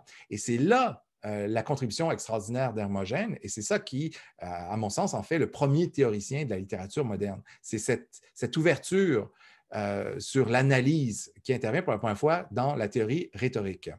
Alors, Hermogène euh, précise euh, qu'il existe euh, trois catégories principales, les catégories qui existent par elles-mêmes, comme la beauté, la vivacité, la virtuosité. les catégories génériques qui comprennent des espèces, clarté, grandeur, par exemple, et les catégories qui partagent certains composants et appartiennent ainsi partiellement à une même espèce. Il s'agit du caractère et de la sincérité. Vous avez ces catégories de style qui permettent donc la composition de nouveaux discours, mais surtout l'analyse et la critique des discours existants. Et c'est ça la trouvaille, c'est ça la contribution extraordinaire euh, d'Hermogène. Ces catégories permettent la composition de nouveaux discours, mais surtout l'analyse et la critique des discours existants. Vous voyez comment ça, nous ramène à notre euh, propos. Étude des styles individuels, euh, comment on peut, à partir de ça, caractériser un auteur, définir son style, dire, OK, quel est le propre du style de Cicéron? Qu'est-ce qui, caractérise Homère? Quelle est la dominance stylistique de tel ou tel passage, de tel ou tel extrait? Et à partir de ça, on peut dire, voilà, il, s'inscrit dans tel registre, il est dans tel genre, euh, et, on, a une compréhension, beaucoup plus complète de, euh, de ces différentes espèces littéraires.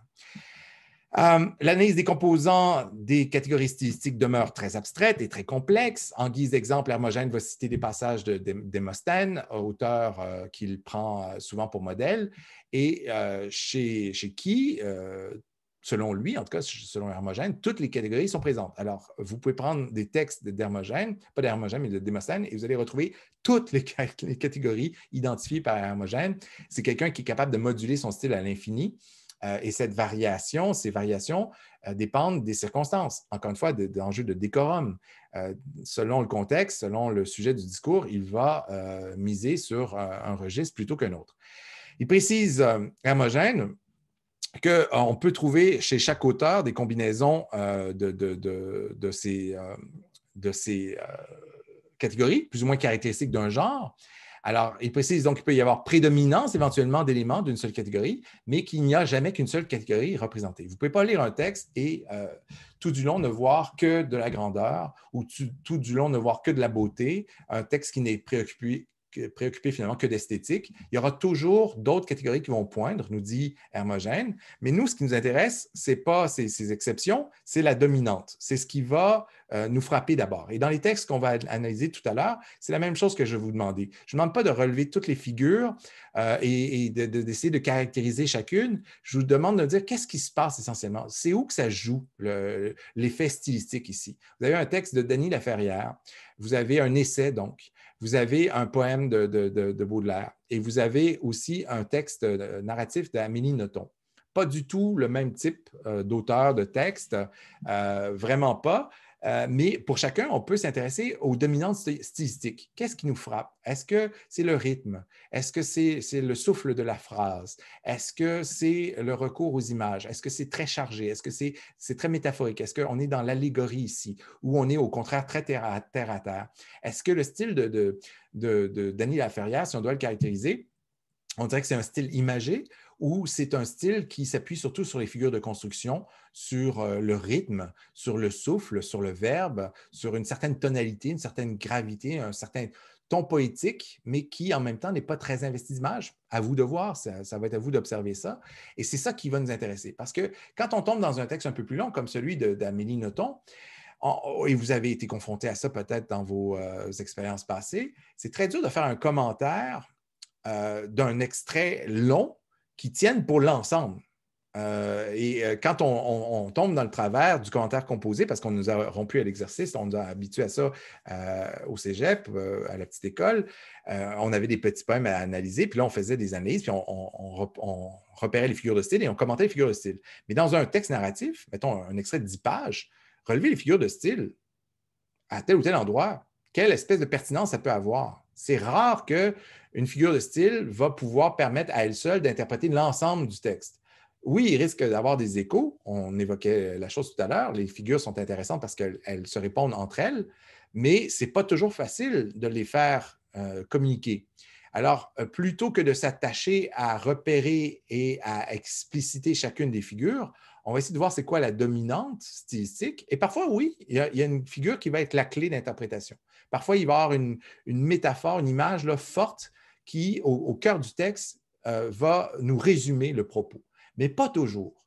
Euh, donc, il faut être capable de voir ailleurs que dans les tropes, ailleurs que dans les figures, au niveau du style, qu'est-ce qui se passe, au niveau de la syntaxe, dans son ensemble, au niveau du ton, du registre. Et euh, l'herméneute, il ne peut pas procéder de façon artificielle avec une grille analytique euh, qui est la même d'un texte à l'autre. Il s'adapte selon le texte. Alors, si le texte ne comporte pas de figure de style, ça ne sert à rien de chercher des métaphores, des comparaisons, euh, des, synecdotes, euh, des, métonymies. Euh, il n'y en aura pas. C'est un texte qui joue sur le rythme, qui joue sur le souffle, qui, joue sur le, registre plutôt, donc, ou les idées éventuellement. Ce n'est pas la peine de, sortir son gradus, Bernard Duprier, puis d'entreprendre d'y chercher des figures de style. Donc, il faut être à l'écoute du texte qu'on analyse pour en dégager les dominantes. Et c'est dans l'esprit justement de ce que propose euh, Hermogène.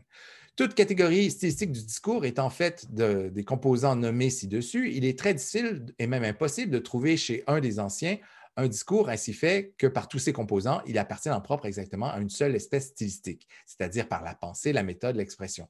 Mais c'est la prédominance des composants propres à chaque catégorie stylistique qui fait que chacun d'eux est de telle ou de telle qualité. Alors, euh, c'est ce qui euh, est intéressant, il me semble, chez Hermogène, qui établit également les caractéristiques formelles euh, propres aux trois genres oratoires traditionnels. Il va dire, OK, qu'est-ce qui caractérise le, genre judiciaire au niveau stylistique? Qu'est-ce qui le distingue du délibératif? Qu'est-ce qui le distingue les deux? Qu'est-ce qui distingue les deux de l'épidictique? Et il va préciser que ces caractéristiques peuvent être partagées par des écrits qui n'appartiennent pas non plus à la rhétorique. C'est-à-dire que ces catégories de style ne sont pas proprement euh, oratoires. Elles ne sont pas l'apanage exclusif du discours oratoire. On les retrouve en poésie, on les retrouve aussi dans la fiction, on les retrouve aussi dans, la littérature, en quelque sorte. Euh, et euh, ce qu'il va faire, c'est assimiler finalement le genre panégérique, finalement, à, ce que nous, on conçoit comme la, littérature. Parce que, où, est la, place de la littérature dans la théorie rhétorique? C'est certainement pas du côté du judiciaire. Quand on parle du, discours judiciaire, euh, on est très loin de la littérature et de ses enjeux. Quand on parle du délibératif, euh, on est dans le politique, on est dans le débat, on est assez loin de la littérature telle qu'on la conçoit aujourd'hui.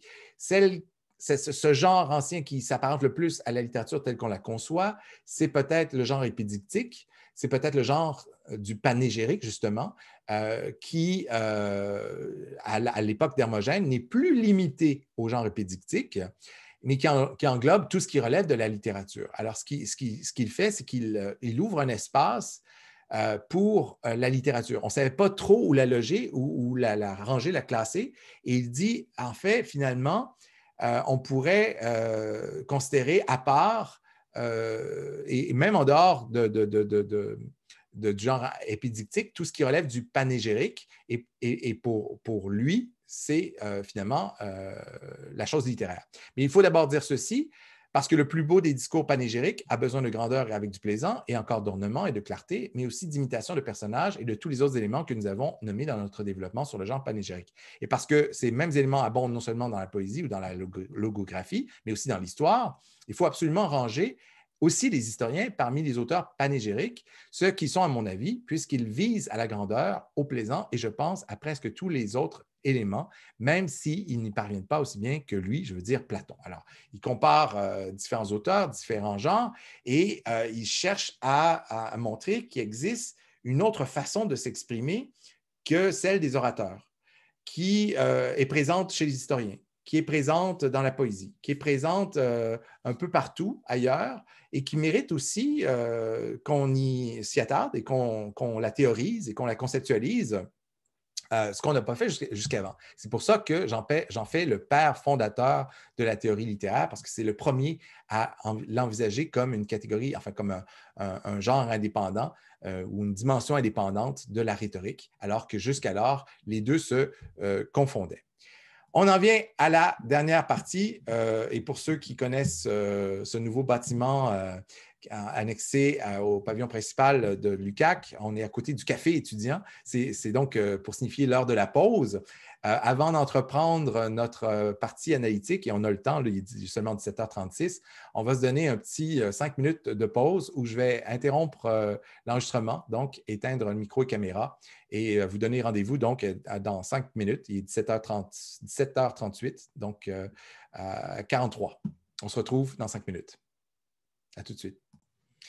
Alors, nous voilà de retour de la pause. Les équipes ont pu délibérer. Euh, les trois textes ont été assignés. D'abord, correspondance euh, de Charles Baudelaire. Daniela Ferrière, L'art de manger, une manque, c'est le deuxième texte. Et le troisième, Amélie Nothomb, Frappe-toi le cœur.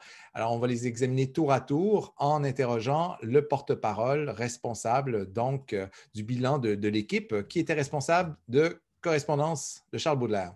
William, vous pouvez ouvrir votre micro. C'est bon? Oui, est-ce qu'on m'entend bien? Très bien. Parfait. Donc, euh, je vais commencer tout de suite. Euh, ce qu'on a relevé comme figure, euh, il y avait beaucoup de métaphores et de comparaisons. D'entrée de jeu, déjà, le premier vers, la nature est un temple où de vivants piliers laissent parfois sortir de confuses paroles. on, avait, on avait cru comprendre que c'était un genre de métaphore entre la nature et l'architecture. il y avait il y avait beaucoup de personnification aussi, ces vivants piliers qui, euh, euh, qui ont de confuses paroles et qui observent avec des regards familiers. Donc, déjà, euh, déjà on retrouve ça. aussi dans un, dans un autre ordre d'idée, on voit qu'il y avait beaucoup de contradictions tout au long du poème. Admettons, dans la deuxième strophe, troisième vers, euh, vaste comme la nuit et comme la clarté, c'est un genre d'oxymore. Mhm. Mais on retrouve aussi d'autres contradictions assez, euh, euh, assez étranges. admettons les deux premiers vers de la troisième strophe. Il est de parfum frais comme des chairs d'enfants, doux comme les hauts-bois, vert comme les prairies. Donc, c'est une drôle de comparaison de comparer des chairs d'enfants avec plein d'éléments de la nature. Puis un mélange de. Amal avait relevé ça pendant qu'on discutait. C'est un mélange du beau et du lait. C'est très beau de l'aérien, justement. Euh, c'est drôle de comparer des chairs d'enfants, de la nature, comme je disais. Ça fait un peu macabre, mais en même temps, c'est dit avec douceur. C'est vraiment c'est particulier. Euh, aussi, tout au long du poème, il y avait beaucoup de figures qui éveillaient nos sens. Euh, les deux derniers vers du poème, notamment avec comme l'ambre, le muscle, le benjoin et l'encens, qui chante les transports de l'esprit des sens. C'est un, peu une. Euh, voyons, je n'étais pas sûr. J'avais demandé justement à mes collègues euh, c'était quoi cette figure-là? On pense que c'est une synesthésie, c'est-à-dire qu'on fait, euh, voyons, on, attribue des, des, particularités qui sont propres à quelque chose, mais ça ne l'est pas. L'ambre, le muscle, le benjoin et l'encens ne peuvent, pas chanter les transports vous avez mis le doigt dessus, c'est exactement ça. C'est le terme technique, la synesthésie. Et ce que vous évoquiez plus haut aussi à propos des chairs d'enfants, euh, il est des parfums frais. Et là, on est dans le canal euh, olfactif. On pense à un parfum, donc on pense à l'odeur. Frais comme des chairs d'enfants. Et là, il y a un glissement. Euh, on parle de, fraîcheur de la, chair d'enfant, donc on est dans le tactile plutôt, mais ça peut être aussi l'olfactif. Donc, on va laisser une chance. On va dire, peut-être qu'on est dans l'olfactif encore, parce qu'une chair peut sentir peut être fraîche, elle peut sentir frais, doux. Euh, et là, on est dans l'auditif, euh, comme les hautbois, le son, bien sûr. Euh, mais un parfum peut être aussi doux. On peut dire d'un parfum qu'il est doux et on est dans l'olfactif. Alors, il y a toute cette série de synesthésies finalement qui s'emboîtent vers, on pense à la couleur, comme les prairies, mais on peut aussi dire d'un parfum qu'il est vert. Et donc, ça peut être olfactif également. Donc, il y a tout ce, jeu d'un sens à l'autre qui euh, relève de la synesthésie. Et vous avez raison euh, de faire euh, le lien aussi avec l'âme, le muscle, le et l'encens qui change les transports de l'esprit et des sens. Là, on, passe à un autre niveau qui n'est pas sensuel, mais qui est spirituel. Et, on est encore dans, cet esprit de transfert. bravo, vous avez relevé l'essentiel. Est-ce que ça faisait le tour pas mal de vos considérations? Pas mal, oui. Euh, j'ai juste une dernière remarque. C'est, on avait, c'est évident. je pense que c'était ça la difficulté, c'est qu'on connaît tous et toutes Baudelaire, je pense, dans la classe. Fait qu'on dirait qu'à un moment donné, on, a l'impression de relever l'évidence, mais tout au long, on, était frappé par le fait que c'était beaucoup euh, des, figures d'images. En fait, on essaie de susciter des images, puis euh, nos sens, mais on accumule image par-dessus image qui semblent contradictoires, mais qui ne, le, qui ne le sont pas toujours, mais qui sont difficiles à se figurer, en fait. Donc, euh, ce serait comme ça que je terminerais. Ce poème, c'est euh, carrément l'art poétique de, Baudelaire. Si vous voulez comprendre ce que Baudelaire essaie de faire dans Les Fleurs, du Monde, dans sa, Fleurs du Mal et dans sa poésie en général, vous devez passer par ce texte, ce texte où il fait un lien entre euh, la nature, qu'il assimile à un temple, la nature comme un lieu de révélation finalement, où le poète, l'homme, se promène et est interpellé par toutes sortes de symboles mystérieux qui dépassent son entendement. Mais le poète est celui qui va euh, s'inscrire comme le médiateur, capable de, comprendre ces liens, ces correspondances mystérieuses et de les interpréter.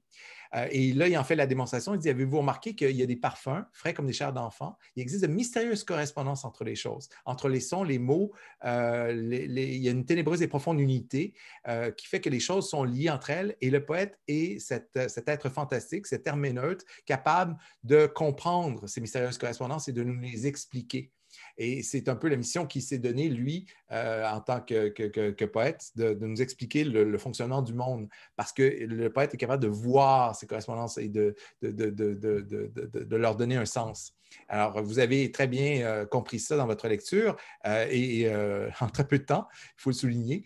Merci pour ça. Alors, on passe au second, Dany Laferrière. Qui était responsable de celui-là? C'est Tina. Vous pouvez ouvrir votre micro. Texte très court de Dany Laferrière. Donc, je vais vous dire ce qu'on a trouvé un peu pêle-mêle. Euh, par rapport à Hermogène et ses catégories, on s'est dit que c'était surtout la clarté. On n'était pas certain, mais il y a une écriture très, très nue, très simple, euh, très peu de figures aussi. Donc, euh, c'est difficile à dire. On a, eu de la difficulté à, dire de quel type de figure mhm qui était, qui était majoritairement présente dans, le texte. Mhm. Euh, c'est super cool aussi. Euh, sinon, on s'est dit que euh, par rapport au tableau qui avait été montré dans le PowerPoint, que c'était un style agréable, on pense, parce qu'il y a comme un espèce de but de plaire au lecteur, de, l'emmener un peu comme en voyage, si on veut. Euh, c'est accentué euh, par la fonction fatigue, en fait, qui s'adresse directement au, lecteur. Euh, là, on n'était pas certain aussi, mais on, trouvait, en fait, c'est comme une espèce de fragment, puis on se disait que ça ressemblait à une espèce de, grosse digression, mais ça fait partie aussi du, but du livre, juste avec le, titre, on, le devine, en fait, l'art de ne rien. Presque perdu de ne rien faire. C'est ça. Mm. Donc, euh, c'est ce qu'on a trouvé pas mal. Ben voilà, et c'était un peu un piège parce que dans ce texte, il n'y avait pas de figure, effectivement. Puis le réflexe, quand on fait une analyse de, ce type, euh, une analyse littéraire, c'est d'essayer de, repérer rapidement les figures. Or, euh, il n'y a pas vraiment de métaphore, de comparaison, de métonymie. Et là, on est un petit peu euh, déçu. On, essaie de regarder ailleurs. C'est un, texte très court qui relève de la littérature d'idées. C'est un essai, mais c'est un essai en même temps, vous l'avez dit d'un certain registre. Il est à la fois clair, mais euh, il, y a, des élans poétiques là-dedans. sans qu'il verse dans, le style en poulet ou asianiste, là, il y a quand même une certaine élégance. Et là où ça se passe, et là où on pourrait faire porter une analyse vraiment et, qui dégagerait des éléments intéressants, c'est au niveau du rythme, au niveau du souffle de la phrase. il y a quelque chose d'évocateur dans le ton. Et c'est là, si moi je devais faire une analyse de, ce texte-là, c'est là que je, me poserais surtout. Là. Je, regarderais la, construction des phrases, euh, l'enchaînement, le, caractère évocateur aussi. On suppose que vous vous trouvez à ce moment-là quelque part au sud de la vie. Il faut attendre un midi de juillet quand la chaleur devient insupportable une cuvette blanche remplie d'eau fraîche sur, une petite table bancale sous un manguier. Alors, il y a quelque chose vraiment dans le ton qui, euh, pèse et qui pose, là, euh, qui est très intéressant ici et euh, vous, l'avez bien, vu. alors, on ne s'attendra pas plus longtemps. C'est un texte très court sur lequel il n'y a pas grand-chose à dire. le, défi à chaque fois, c'est d'identifier la dominante. Et, euh, on ne peut pas se fier à nos réflexes, comme je disais, de simplement essayer d'identifier les figures. Euh, des fois, ça va se passer ailleurs au niveau de la construction, euh, au niveau du registre, au niveau de telle, telle idée aussi. ça peut être des figures de pensée qui sont mises à l'avant-plan. donc, il faut être attentif à ce que le texte nous propose.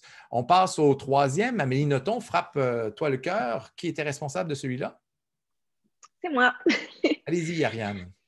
Donc, euh, en fait, d'abord, on trouvait qu'il y avait un registre assez familier. Donc, on n'a pas nécessairement besoin d'être euh, très concentré là, pour bien comprendre. C'est assez terre à terre, ça va assez directement euh, au point sans nécessairement de détour. aussi, il y a le, il y a exclusivement de l'imparfait dans l'extrait qu'on avait. Donc, ce qu'on trouvait ajoutait aussi à la simplicité, qui devient une simplicité presque enfantine peut-être. Euh, ensuite, autre chose qu'on a remarqué, c'est la ponctuation qui est assez ferme. Les phrases, les phrases sont précises, courtes. Euh, ça vient influencer le rythme. Donc, un, rythme aussi euh, presque abrupt. Par exemple, on passe du narrateur omniscient à une réflexion intérieure du personnage sans vraiment de mise en contexte, sans pause, sans rien. On passe de l'un à l'autre comme ça. Euh, avec aussi les énumérations assez nombreuses qui ajoutaient aussi au rythme rapide. Euh, puis, OK, oui, excusez, mes notes sont un peu permées. Euh, ensuite, il y avait aussi un dynamisme. Donc, chaque phrase, chaque paragraphe, on trouvait apporter une nouvelle information, une nouvelle information narrative. puis, dernier élément que j'ajouterais, c'est qu'il n'y a pas vraiment il n'y a pas beaucoup de figures de style à travers l'extrait, mais il y en a quelques-unes à la fin, donc récolter les miettes, euh, mourir d'une balle perdue, euh, qui, on trouvait, représentait bien l'histoire en général, qui, illustre bien euh, le sentiment qu'a la jeune fille par sa jalousie, par la jalousie des autres, pardon, qu'elle est contente de ressentir. Très juste. Et puis, il y a cette métaphore qui pourrait être emblématique de, l'ensemble du texte. Euh, quel plaisir d'être 100 fois respiré, mille fois convoité, jamais butiné, où elle est assimilée à une, fleur, finalement. Euh, les, garçons euh, n'en ont que pour elle, tournent autour d'elle et on, fait un, lien analogique entre la fleur et la fille qu'on courtise, comme les abeilles ou en fait les insectes vont venir butiner comme ça les, différentes, les différentes fleurs, mais elle, elle est respirée, humée, convoitée, mais jamais butinée. Alors, métaphore qui peut signifier aussi autre chose, euh, c'est-à-dire qu'elle ne s'abandonne pas, elle, joue le flirt, mais elle ne s'abandonne pas à la consommation euh, de la relation.